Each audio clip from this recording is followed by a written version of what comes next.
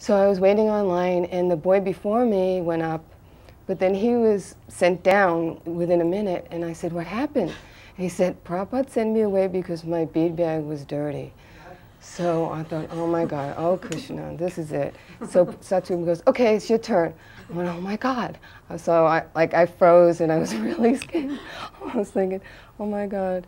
So I knocked on Prabhupada's door and I didn't hear anything. And I thought, oh, well, what do I do? So I, kept, I knocked on it a couple of times and then I, I thought, well, let me just go in. And then I, I went in, I opened the door and I went in and I paid my obeisances.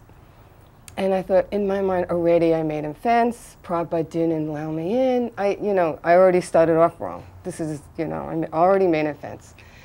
So when I got up, Prabhupada went like this to me. And so I, I kind of went a little, ooh, couple of baby steps. And then Prabhupada was going like this to get closer. And so before I knew it, I was practically on his lap.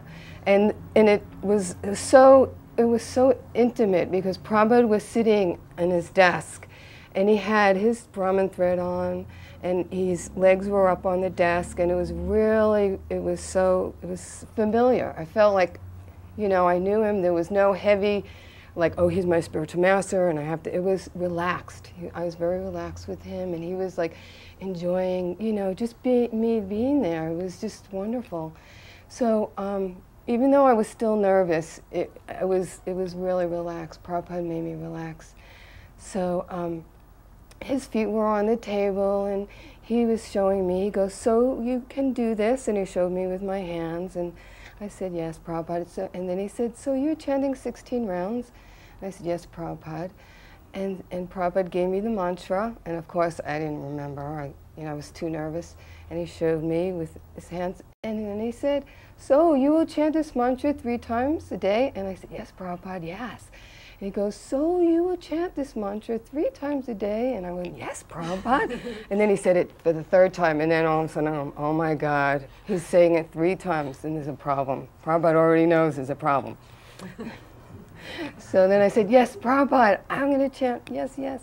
He goes, okay. And he was very, very happy. Mm-hmm. And then I, I was going to leave, and Prabhupada said, so what have you brought me? And his eyes opened up, and I went, oh, because at that point, uh, there was no way I was going to Prabhupada, this, no way. He goes, so what have you brought me? And then I said, this Prabhupada.